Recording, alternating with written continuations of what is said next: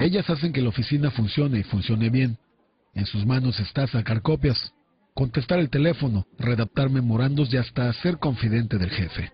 Eh, pues yo creo que ya ahorita a estas alturas las secretarias son imprescindibles porque más que secretarias ya forman parte de tu vida, ¿no? Son, eh, aparte de que son colaboradoras directas, eh, creo que son, llegas a tener una gran amistad con ellas. He trabajado con, pues, con algunos titulares y, y la verdad hemos sido más que ser la simple empleada. Mm, pues sí, hemos llegado a ser amigos inclusive, ¿no? nos han dado la oportunidad de involucrarnos un poco en lo personal y...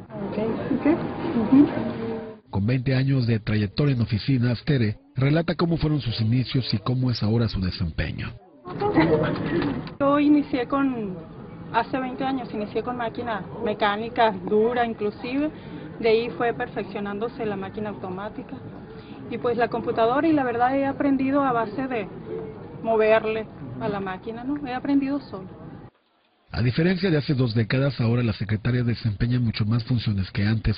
Ahora se capacitan a la par de la modernidad para mantenerse bien actualizadas, aunque hay algunas como Tere que todavía prefieren la taquigrafía cuando toman dictado. su solicitud, como dicen, no, no son como las de antes. Inclusive, mm, pues yo digo que deben de desempeñar muy bien su papel, ser muy eficientes, leal, sobre todo al jefe, ser agradecidas, inclusive en algún momento y yo creo que esa es la base más que todo. Tanto para lo administrativo como para el seguimiento de tus asuntos, para es tu recordatorio, es tu agenda y todo, o sea, forma parte ya de, tu trabajo, de tus herramientas de trabajo. En el país existen 800.000 mujeres que se desempeñan como secretarias y aunque tienen su día para festejar, más importante que un regalo es que su labor sea reconocida todos los días.